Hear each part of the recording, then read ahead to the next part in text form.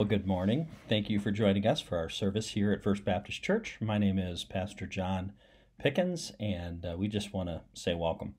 If you are watching this video for the first time, or maybe for the last couple times, uh, and have enjoyed our service, we, we would really like to get to know you. And I know this these are unusual times, and it's very difficult to do this, um, but we have provided a link down in the description of this video here on YouTube for you to fill out a connection card. It's just some basic information for us to get to know you and how we might be able to best serve you during this time. Enjoy the service. Well, welcome uh, to another service here at First Baptist Church of Lowell. We're glad that you have joined uh, with us today to worship and uh, join with us to hear the word preached. Uh, today, I want to begin by reading a call to worship out of the Psalms. Uh, so let's look at this together.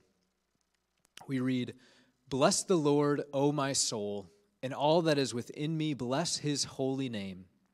Bless the Lord, O my soul, and forget not all his benefits, who forgives all your iniquity, who heals all your diseases, who redeems your life from the pit, who crowns you with steadfast love and mercy, who satisfies you with good so that your youth is renewed like the eagles.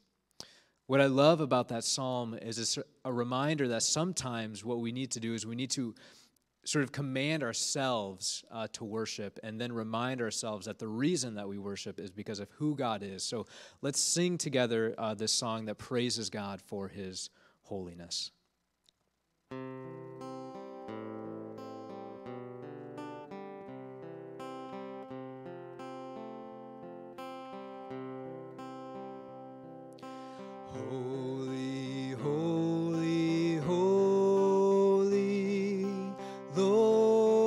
God Almighty.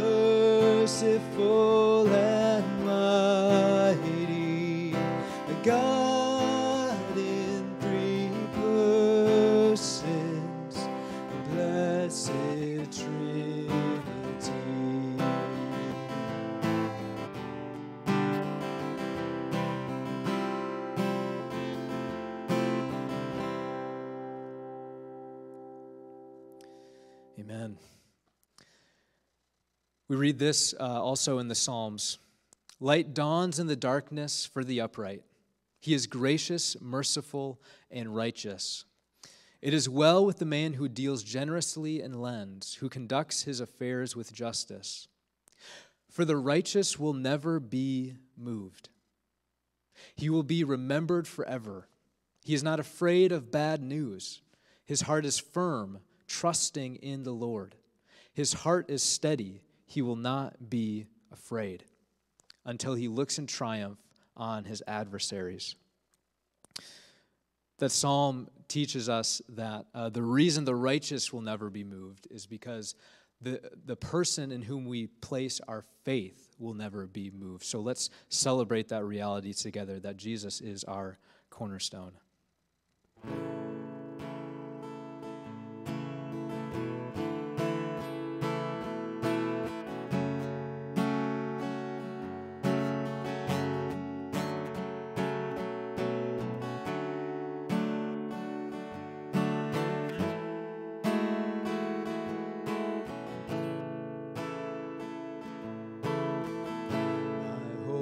Built on nothing less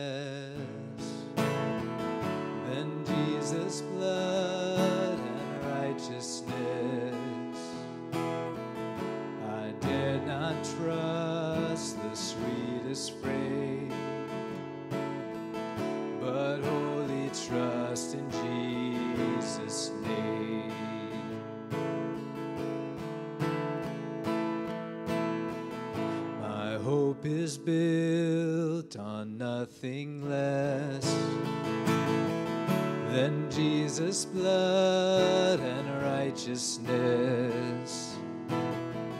I dare not trust the sweetest frame, but wholly trust in Jesus' name. Christ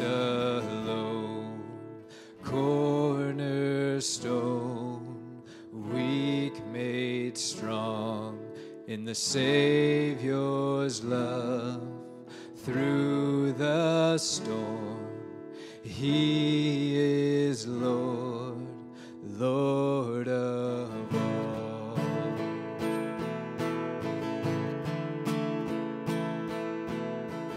When darkness seems to hide his face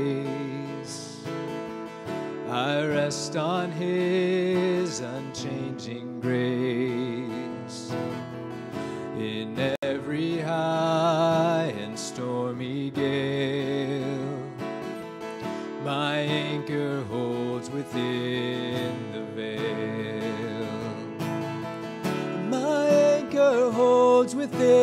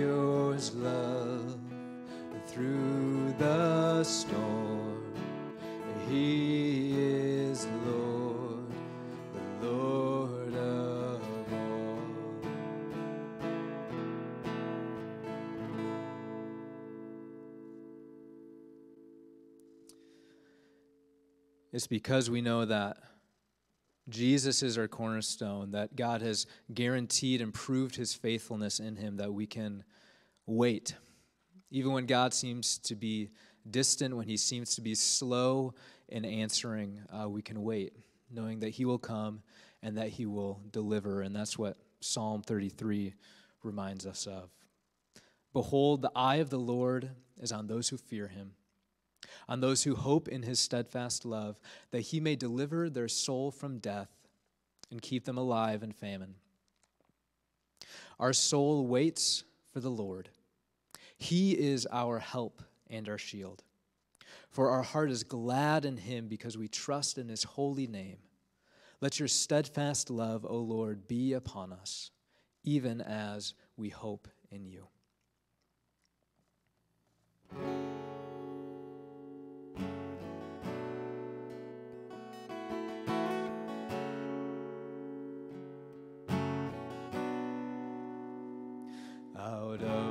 Depths I cry to you. In darkest places I will call. Incline your ear to me anew and hear my cry for mercy, Lord.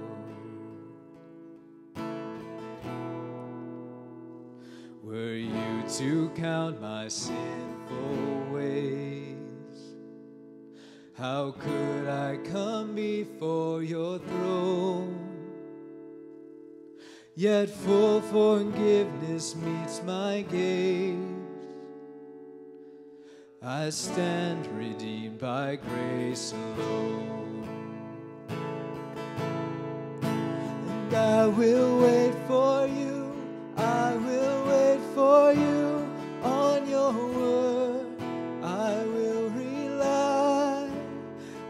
will wait for you, surely wait for you till my soul is satisfied.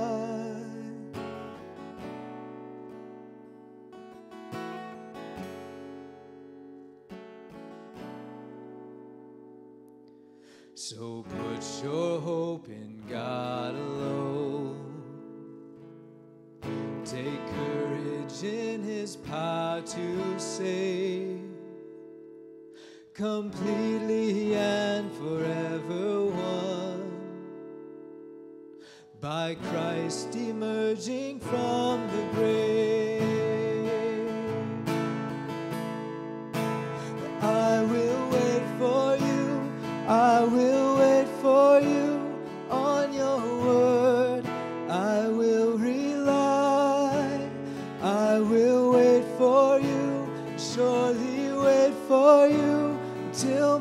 soul is satisfied.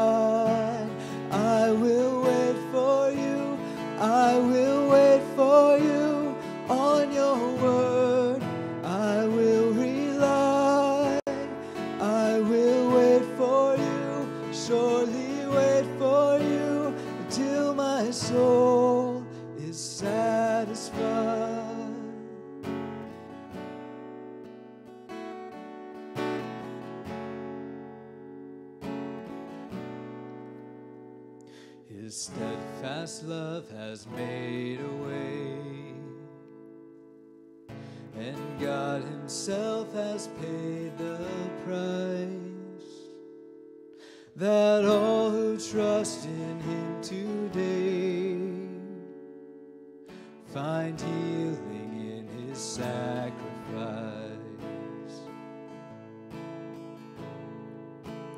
And I will. I will wait for you through the storm and through the night.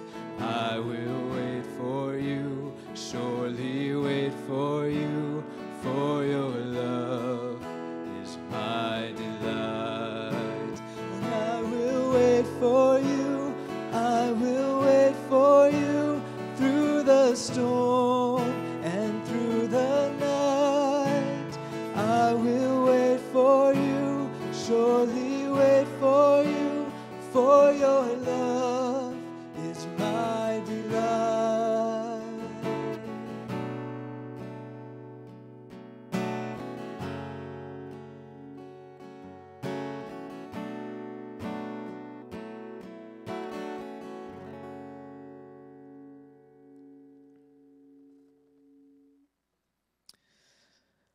Well, at this time, we want to encourage you to pray uh, either by yourself or with whoever you're listening to, and we'd like to uh, especially focus on praying for our missionaries uh, today. So, there's going to be a slide about two of our missionaries that we support, and we want to be praying for them, and there'll be specific things that you can be praying for on these slides. So, let's uh, take some time and pray together.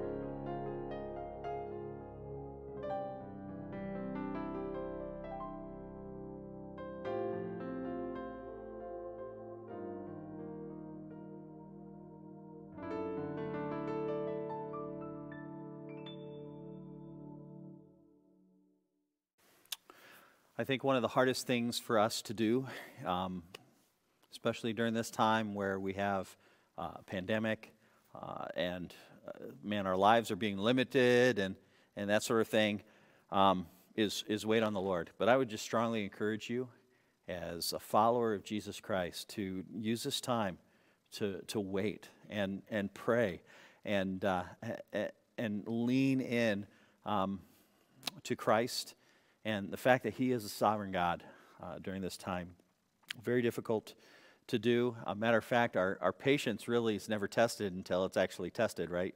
And so when you start to get anxious, that's probably the, that's when patience actually begins to kick in. That's when we need to wait even uh, more. And so I just encourage you to use this time to wait on the Lord. Cancer is a horrible disease. It is one that forms in our bodies, and we don't even know it at times until the symptoms get so bad that it, um, it begins to reveal itself. What makes it so bad is that it can spread, and sometimes spread even fast. Cancer cells break off from its place of origin and they travel through the blood and lymph system, and they metastasize in other parts of our body. Oftentimes, someone will discover that the cancer has metastasized all throughout their body, and there's nothing left to do apart from divine intervention. Nothing's going to stop it. And at this point, cancer is terminal. It's a nasty disease. It's, it's one of those diseases that I know that our people, many of our people have been through I know that many of our people currently are going through, have cancer, and are battling. And then I also know it's a, it's a battle that many of our people have lost. The chances of you knowing somebody that has, has um, been lost to cancer is, is huge. It's a nasty disease. And that's exactly what I think of when I think of sin. Sin is a cancer. It infects the entire soul. It is an incurable cancer that all of us have. Apart from a divine intervention, it will ruin us. We've been in the book of Romans, and so far the Apostle Paul has gone through with great, in great length to make sure that um, the reader understands that every person, whether you are a pagan Gentile, whether you are a moralist, or whether you are a religious Jew, every single person is in the same boat. They are under the condemnation of God. They deserve God's wrath. And apart from a righteousness that is revealed in the gospel, we have no hope. Only God can cure this problem. You know, by now, I would imagine you're probably thinking, come on, Pastor, I get it. Like, I'm a sinner. Can we just move on? And uh, I, to, be, to be honest, I feel that same way uh, as we're traveling through Romans chapter um, 1, 2, and 3, this has been a, a, repeated theme over and over and over again as Paul is making a very careful argument to these uh, people. He's, but in this particular appeal, this final appeal to the people before he transitions into the righteousness of Christ, um, he's revealing something about sin that, that we need to understand. It's not just, hey, I'm a sinner, I know that. No, Paul wants you to understand just how deeply affected you are by sin. And that's what we're going to do today. My goal is to teach this passage and lead us to wrestle with how deeply um, broken we are and how desperately we are in need of Jesus Christ. So let me read the passage for you. In verse 9, Romans chapter 3, verse 9 says this What then? Are we Jews any better off? Not at all. For we've already made the charge that both Jews and Greeks are under sin, as it is written, None is righteous, no, not one. No one understands, no one seeks for God. All have turned aside, together have become worthless. No one does good, not even one. Their throat is an open grave. They use their tongues to deceive. The venom of asps is under their lips. Their mouth is full of curses and bitterness. Their feet are swift to shed blood. In their paths are ruin and misery, and the way of peace they have not known. There is no fear of God before their eyes. Now we know that whatever the law says, it says to those who are under the law, so that every mouth may be stopped, and the whole world made accountable or held accountable to God. For by works of the law, no human being will be justified in his sight, since through the law comes knowledge of sin. Let's pray together as we open the word. Father, this is an incredible passage that teaches us just how deeply affected we are by sin. And so, Father, as we look into this final appeal by Paul, Father, I pray that you would help us to wrestle with our own brokenness. And, Father, ultimately, I pray that you would deepen our appreciation and love for the Lord Jesus Christ as our only hope.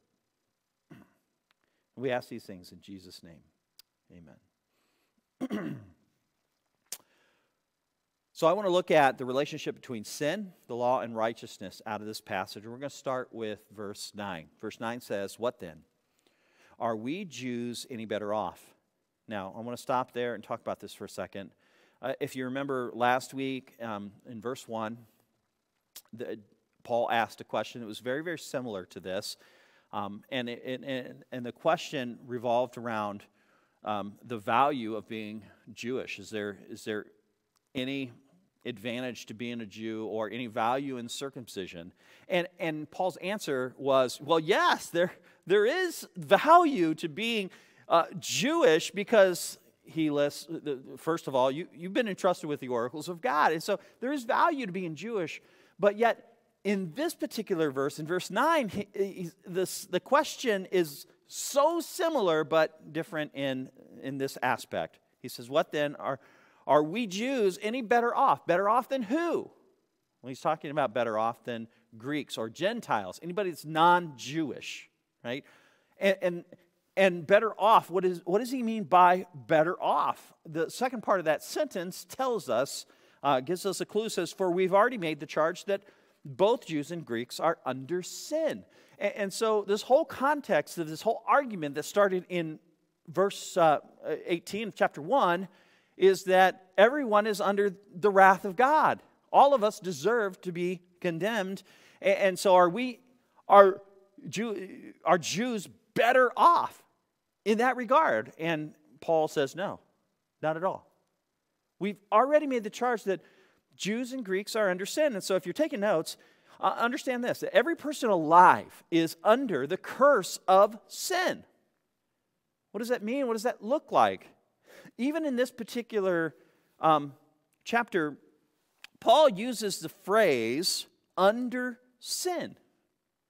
It, it pictures this relationship to sin um, that that our relationship to sin is that of a, of a slave master. Sin is our slave master and has us under its thumb. Matter of fact, John Stott said it this way Paul appears almost to personify sin as a cruel tyrant who holds the human race imprisoned in guilt and under judgment.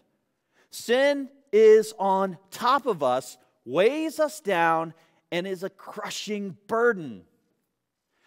And, and so I believe Paul is communicating just how deeply affected by sin that we are.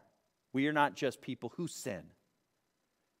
We are sinful to the core. We are under sin, which then expresses itself outwardly in various ways. Ephesians chapter 2 tells us that by nature we are objects of God's wrath. We are sinful to the core. That's who we are. We're not just people who do sin, we are under sin, the curse of sin. I, I think one of the preassumptions that our culture makes about human beings is that we're basically good. You've probably heard that. You might even think that. And, and the idea is that, that people are, the idea that people think that they're basically good actually blinds them to see their need for the Savior. And, and the reality is that many people can't fathom a God that would eternally condemn somebody that is basically good, that just doesn't sit well with our senses. This, however, is not what the scriptures teach. And I think it's important for us to understand this. Let's look at how deep sin has, how deeply sin has affected our lives as human beings. Romans 3 10 through 12. Um, Paul quotes Psalm 14 to make this point. In verse 10, he says this As it is written, none is righteous, no, not one. No one understands, no one seeks for God. All have turned aside, together they have become worthless. No one does good, not even one. Not even one. And so Paul is using Psalm 14 to speak to these Jews to say, listen, listen if, if you read to read Psalm 14, it is the psalmist looking out at these Gentiles and, and, and seeing how wicked they are, and, and, and there's none righteous, there's not one, no one who understands. All have turned aside, become worthless. No one does good, not even one. They are people who are apart from God. And, and, and, and yet, Paul is saying, listen, you're not any better off. We're in the same boat. We're just like these Gentiles. No one is righteous, not even one, apart from Christ. And, and so, if you're taking notes, to be under sin means that we have all turned away from God. And see, this is essentially what the issue is about being basically good. See, basically good um, assumes only a moral uh, premise. But the reality is, we've actually turned away from God, and that, and, and that is the epitome of wickedness. And it manifests itself in, in various ways. Matter of fact, he goes on in the Psalms uh, in this passage to quote, string together several Psalms and uh, a, a verse from Isaiah, several scriptures to make an even greater point. I, th- I think not only have we all turned away from God, but there's, there's something about sin that is, is incredibly horrible. And so, what I, what I did, as, as I read this, I want you to notice that I'm going to underline words that I want you to see so you can kind of see what, what Paul's doing here, okay, when he's using these verses. And, uh, and, and I put the, the verse reference so that you can um, reference it yourself if you would like to. Uh, so here's, here's what Paul does. Ready? He says, Their throat is an open grave, they use their tongues to deceive. The venom of asps is under their what? Lips. Their mouth is full of curses and bitterness. Their feet are swift to shed blood. In their past um, are ruin and, mis- and in their past are ruin and misery. And the way of peace they have not known. There is no fear of God before their eyes. Now, Paul is using a, um, a, a method that is not uncommon to a rabbi and that is stringing together passages from the Old Testament to make a point. And here's the point I believe that Paul is making. To be under sin means that every part of who you are is deeply affected by sin. If you look at this passage, what you will find is that he strings together all these passages that have body parts. It's your throat, it's your tongue, it's your lips, it's your mouth, it's your feet, it's your eyes. It doesn't, every single part of you is affected by sin. We are deeply affected by sin. It's, it's where we get the term total depravity, and that term can um, be a little bit misleading because some people will look at that term and just kind of cringe and, and, and, be like, what, but there, there's some good things that people do. And total depravity doesn't say that you are completely, horribly wicked. It manifests itself all the time. But what it means is that every single part of you, every aspect of your life is deeply affected by sin. And we're going to talk about those later on in the message when we explore our own brokenness. But every part of us is deeply affected by sin. That's the idea of total depravity. Now, I want to move on to verse 19. Verse 19 says this Now we know that whatever the law says, it speaks to those who are under the law. Remember that he talks about everybody being under sin. Now he's speaking to these Jews and, and says, uh, We know that whatever the law says speaks to those who are under the law, so that every mouth may be stopped and the whole world may be accountable to God. So as you're, you're looking at this particular verse um, and you're taking notes, you can go ahead and, and write this down. Being under the law does not exempt you from being under sin but rather makes you accountable for being under sin. Now, I want to unpack that a little bit. When he says that whatever the law says, it speaks to those who are under the law, what does he mean by this word law? And, and, I think it's important for us to understand this because the New Testament uses the word law in several different ways. The, the two ways it probably uses the, the concept of law uh, most is one, it would be talking about um, the first five books of the Old Testament. Um, and they might, um, might even be referring to the Mosaic covenant within that, okay? Or you, it's used, law is often used to talk about the entire scripture.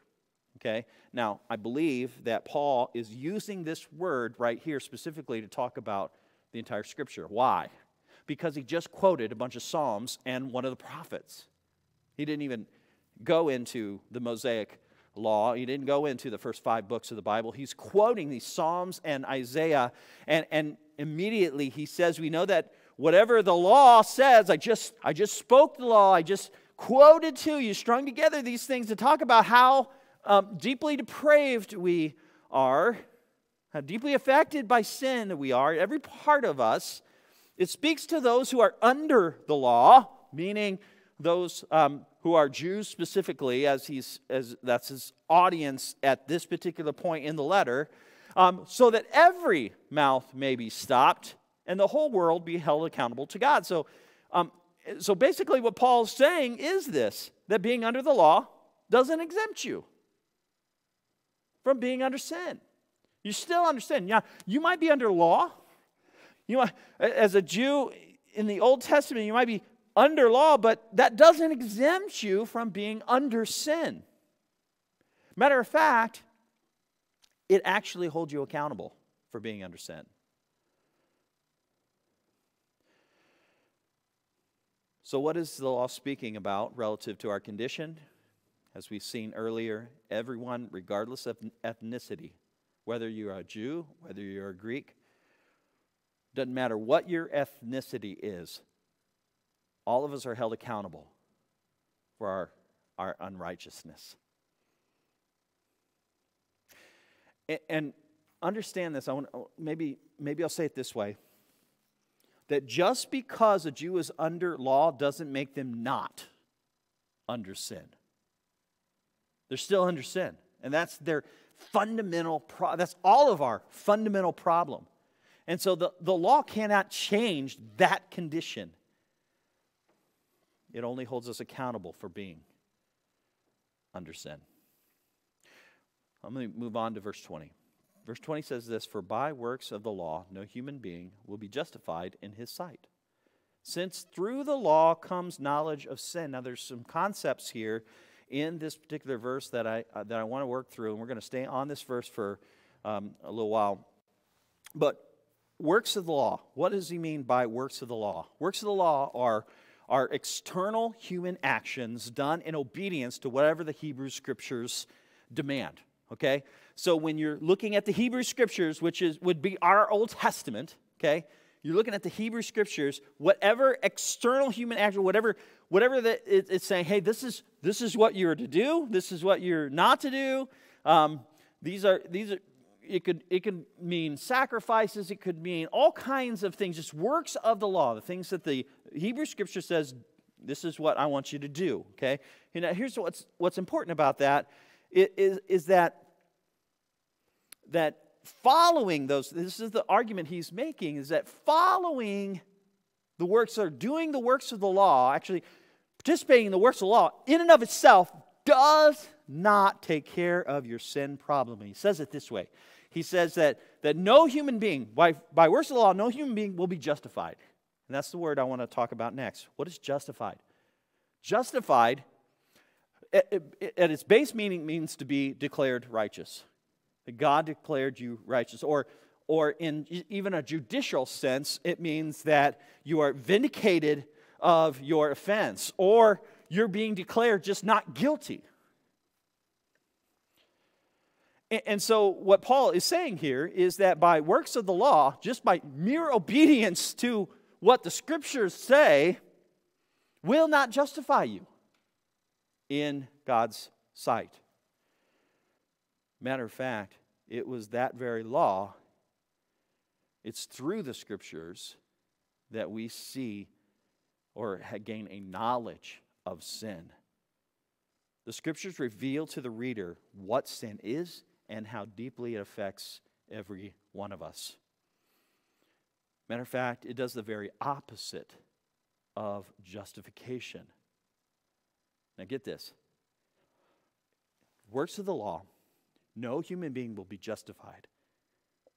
Since through the law comes knowledge of sin, so it doesn't bring justification, it actually it actually justifies our own condemnation. Is what it does. And so here's the point. The law was never intended to bring justification before God.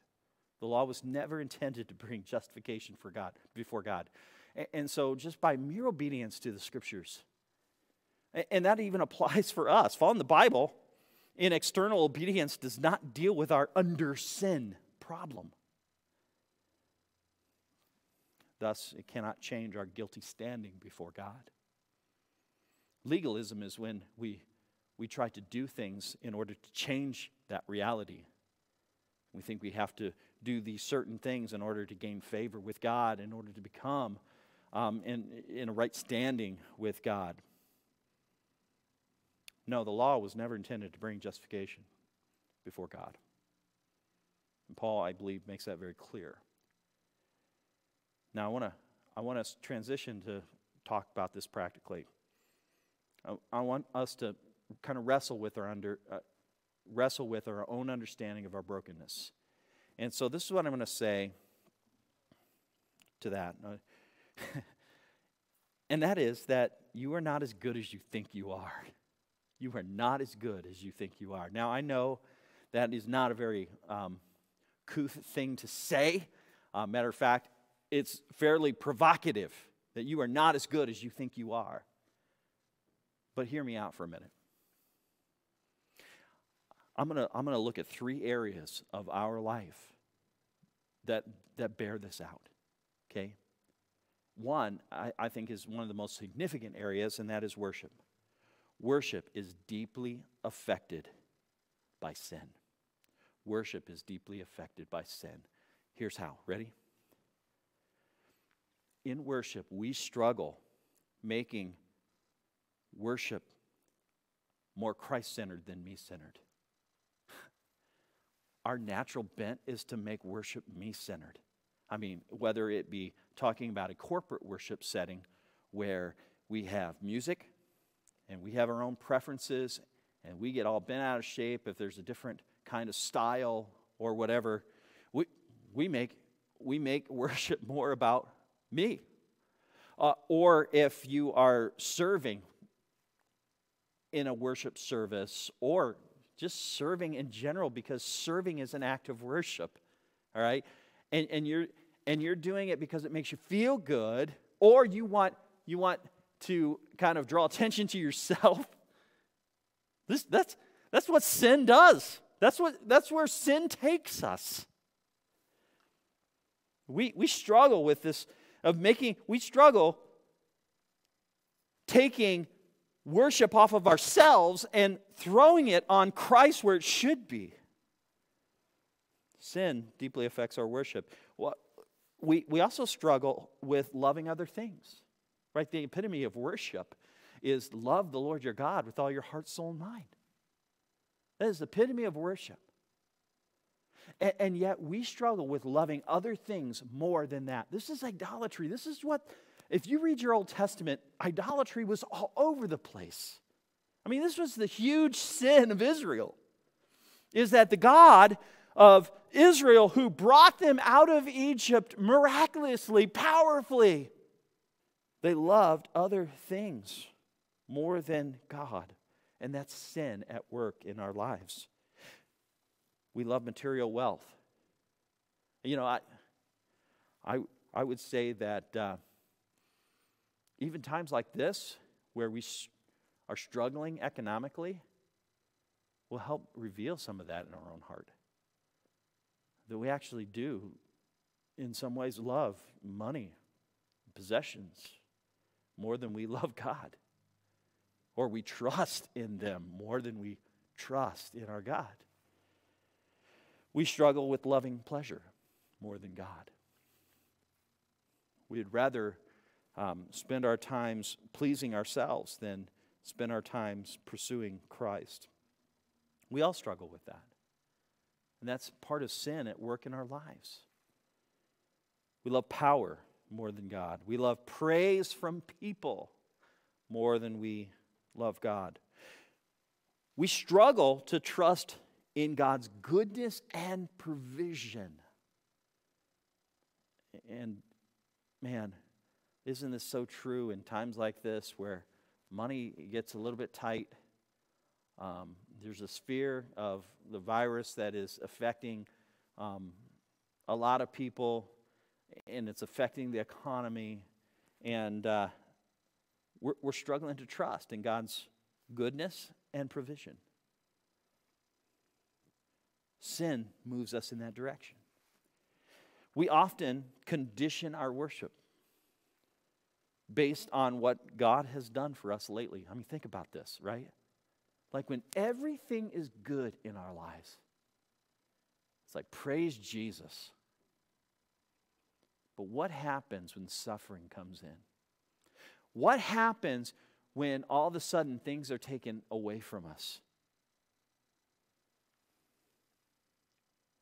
All of a sudden, our, our mind is like, What? You know what? But God, what are you doing to me? You know, don't you know this is me?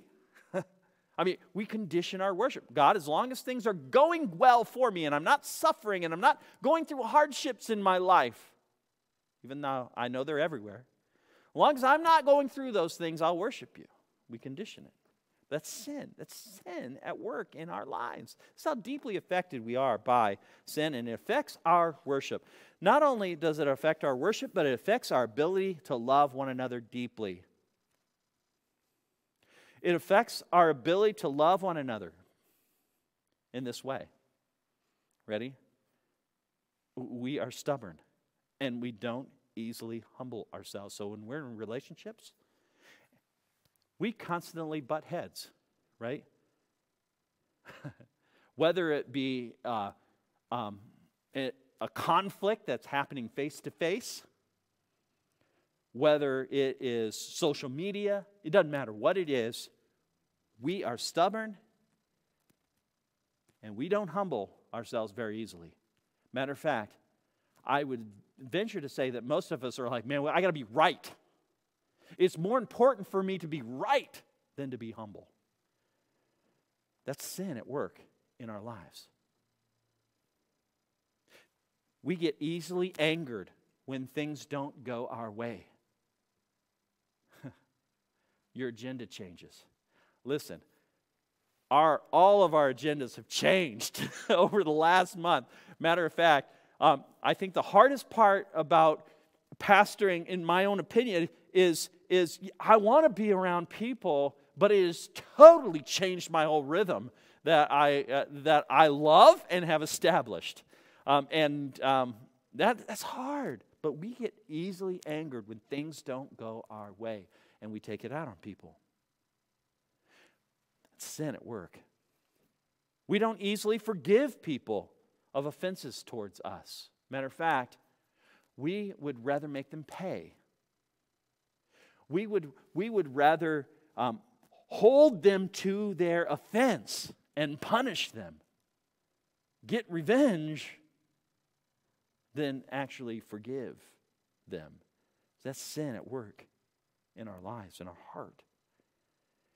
We, we often, this is, this is I think it's important for you to understand. And, and most of us don't think this way, but if you start evaluating, I, I think you'll come to find out that this is true. That we often look for what we can get out of a relationship rather than what we can give. We often look for what we can get out of a relationship rather than what we can give. Let me think about that for a minute.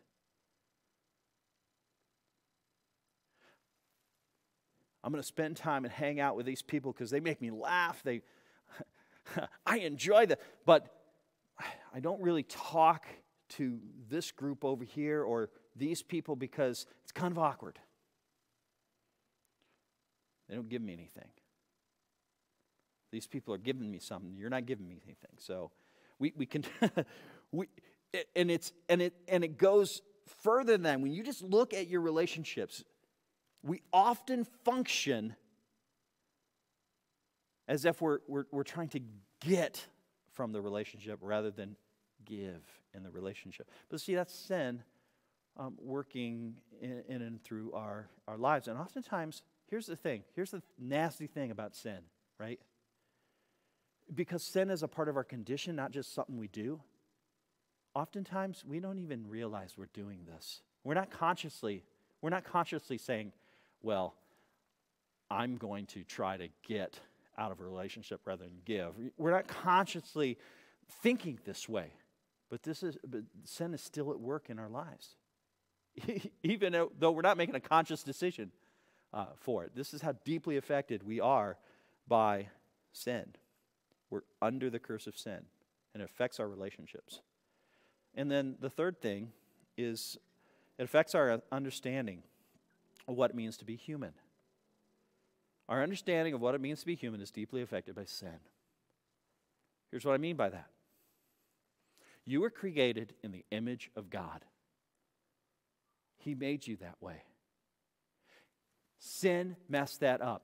Sin has tainted the image, hadn't changed the image. We're still the image bearers of God. We didn't cease to be the image bearers of God just because of the fall in the garden. We're still the image bearers of God. How has it tainted our own understanding of being an image bearer? We get jealous and we compare ourselves to other people. Folks, that's sin at work in our lives. We sink into pride and think of ourselves more than we ought. Matter of fact, we come to a point where we actually think our, we're better we're better than you. I'm a better person than you. That's pride. And we sink into it, and it's sin. We begin to believe that we are worthless and have nothing to offer. Isn't it interesting that sin can move us in a direction where we think too much of ourselves, and sin can move us in a direction where we see ourselves as worthless, which is not thinking of yourself rightly in terms of an image bearer of God. You're an image bearer of God. He created you to bear His image. That has meaning and purpose in and of itself, much less the fact that you are a child of God. As a believer in Jesus Christ, and you have a new identity as an image bearer of God, uh, of God, you are His child. I mean, we can just name a, whole list of this stuff, but sin moves us into this um, place where we see ourselves as worthless and have nothing to offer. We struggle to feel loved and feel like we don't belong anywhere. And I know that's a real, real feeling. But see, this is what sin does in our lives. It begins, it's at work. It's at work, um, working on you to believe a lie. To believe that God is not there for you when He promised He was and is there for you presently. We struggle to feel like our life has no meaning or purpose. And there are so many other ways that sin affects our sense of identity. Whether it be our understanding of what it means to be a man or a woman, all of those things are effects, negative effects of sin. It's a sin at work in our lives to move us away from what is really true about us. Our understanding of what it means to be human is deeply affected by sin. So the, the point is the reality is, you're just not as good as you think you are. Second thing I'm, I'm going to say about this, I want you to wrestle with, is that not only are you not as good as you think you are, but there is nothing that you can humanly do to justify yourself before God. There's absolutely nothing you can do humanly to justify yourself before God. Your good works don't measure up, they never will. No matter what good things that you do, how often you do them, they are never going to measure up. They're never going to change your condition. They're never going to justify you before God. Not only that, but your religious rituals will not justify you before God. It doesn't matter how often you come to church, it doesn't matter. Um, in, in terms of justification. Now, do I think these things matter? Yes, I think good, doing good things matter. I think, I think going to church matters. Why? Because even Paul says, don't forsake the assembling of yourselves together. But what I'm saying is that that brings no value in justifying you. So it doesn't matter how often you attend church, whether you've been baptized, whether you take communion, whether you read your Bible at home, it doesn't matter. All those things will not justify you before God. You can't do anything humanly. You, you, from a human perspective, you can't do anything to justify yourself before God, or even your wishful thinking won't change a thing. And I, and I see this, I'll have conversations with people, and they just, when they think about eternity, They'll say, you know what, I, I believe that there's a God. But I just believe that, you know, God is just going to be fair here. My, my good has outweighed my bad. And God, God's just going to be fair. And see, that's just wishful thinking because God has already said that's just not true. He's been clear about that in His Word. So that you can't do anything humanly possible to justify yourself before God. The only thing that can make a difference is Christ.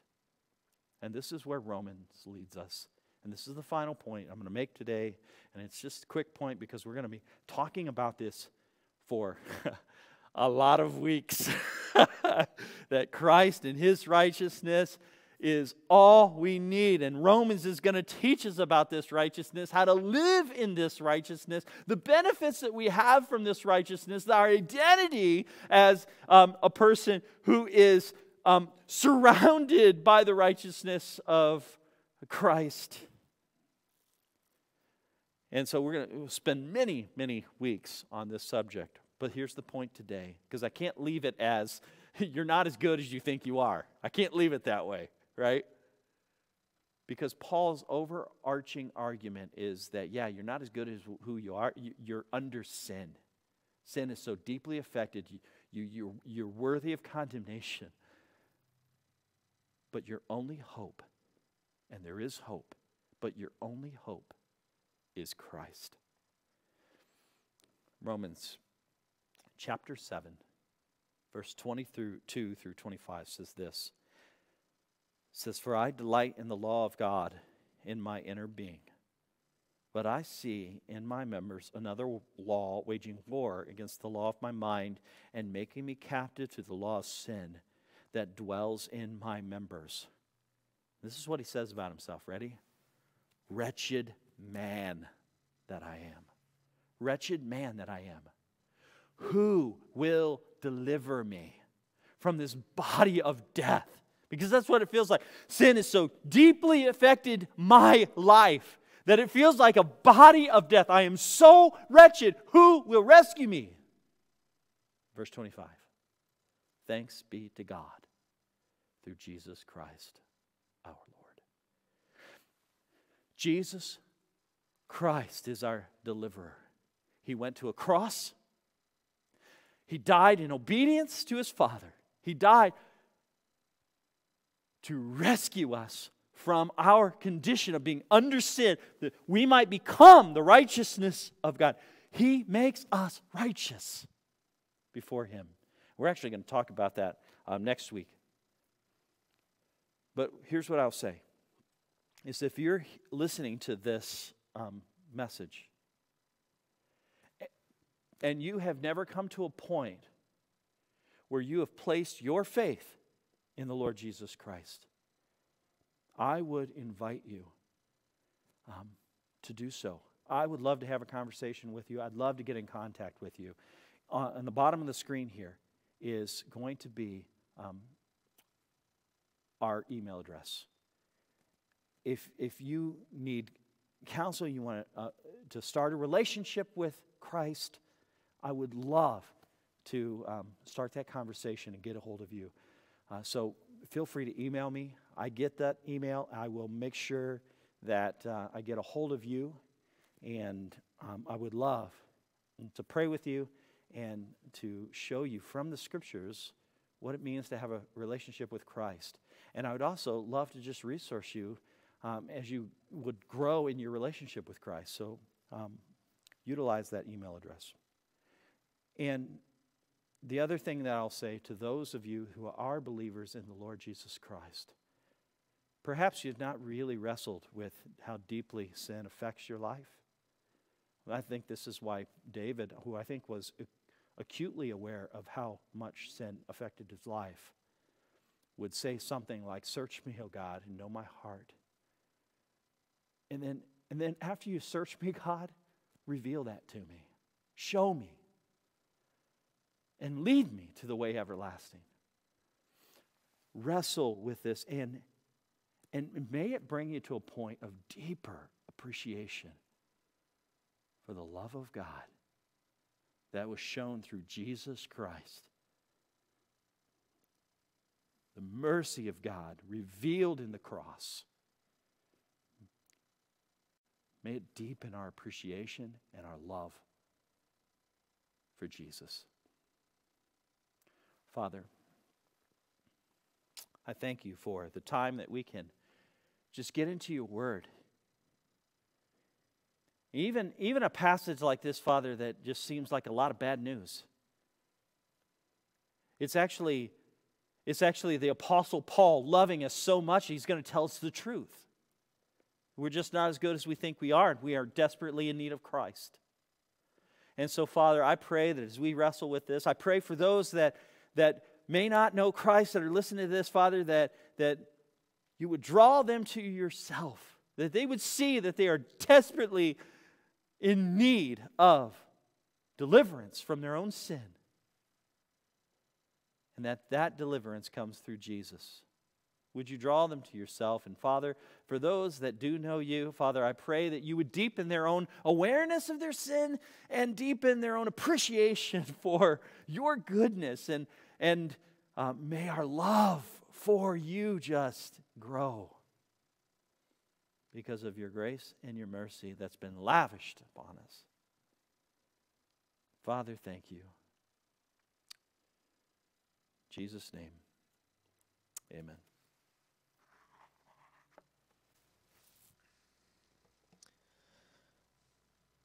We're going to close with a song that is, uh, it's really a prayer that God would uh, help us be faithful to Him.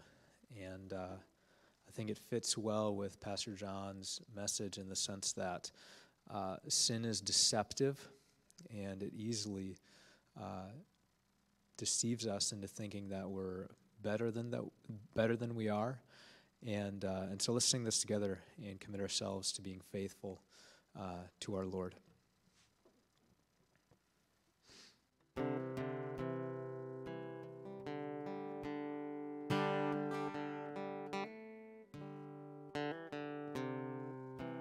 Come, thou fount of every blessing, tune my heart to sing thy praise.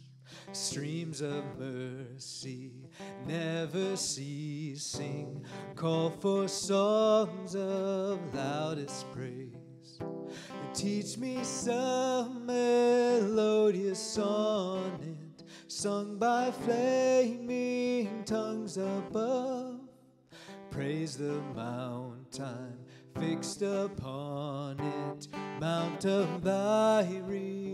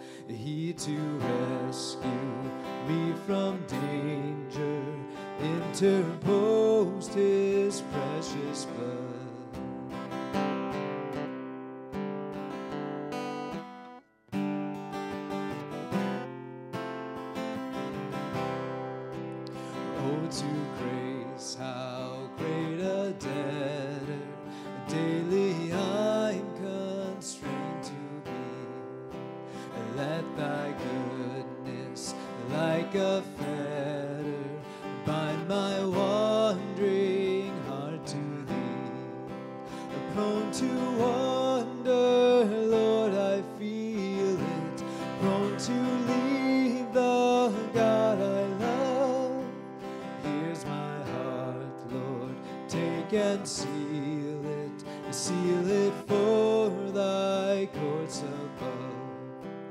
Prone to wander, Lord, I feel it, prone to leave the God I love.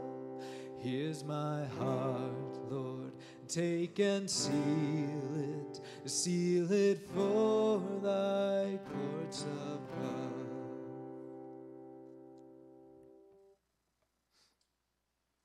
Well, we want to thank you for joining us for our online service. And um, I just want to draw your attention to some questions that we encourage you to uh, wrestle with, whether it's you as an individual or the people that you are watching this video with. We'd encourage you to have some discussion if you're in a, in a group uh, as a family, um, or just wrestle with them individually. Uh, they're going to be on the screen. We're going to we're going to just have them on there for a few seconds, and pa- you can hit pause on your uh, device that you're watching from, and uh, have a great time of discussion as you uh, wrestle with these. The, I, I did not make one for older kids this um, this week because I felt that the, all the reflection questions that are there are geared for everybody, and so um, blessings.